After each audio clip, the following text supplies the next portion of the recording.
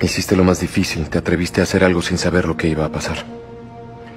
Y justo son esos pequeños pasos de valentía los que hay que dar para volver a sentirnos completos, volver a tener un propósito.